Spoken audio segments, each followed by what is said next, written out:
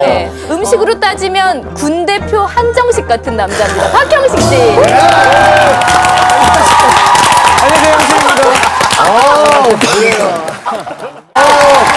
걱정하지 마세요. 제가 문제 굉장히 잘 맞히거든요. 아싸. 상식이 있어요. 쟤는 군대만 갔다 하지 잘 모르거든요. 맞다시만 알지 뭘 몰라요. 내가 잘 알지. 분위기 좋아요. 좋아요. 아니 근데 어, 진짜 박형식 군이 워낙 머리가 머리 크기가 작아서 진짜 실제로도 사실 배가 노사연 씨가 뭐 머리 크기가 그렇게 큰 편이 아닌데도 불구하고 어 좀 더 커 보이는 그 말이 더 짜증나. 나 이러면 안 돼. 아니 아니에요. 아니 얼굴, 그래요. 얼굴 차이 정말 많이 나죠? two shot 아니에요. 당신 뒤에 있는데. 어?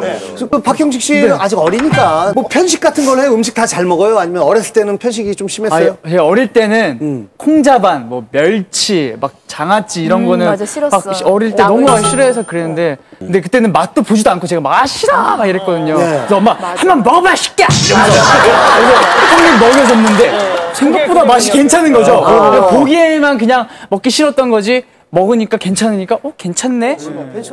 저는 어, 어떻게. 저는 이거. 이거, 이거. 우린 이거. 이거 반대로 가는 거 맞아. 당연하죠.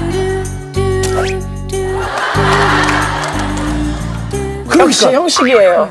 그쵸? 최고예요.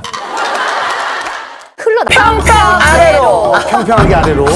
아니 근데 아까는 블록한 그 상식적으로 이러다가 박형식 씨가 예, 우리 무조건 형식이가 맞는 거예요. 형식이가 상식적이에요. 예, 형식이, 형식이에요. 이렇게 딱 받는 거라니까요. 그 발에 돼. 그러니까 형식이한테 안 되는 거야.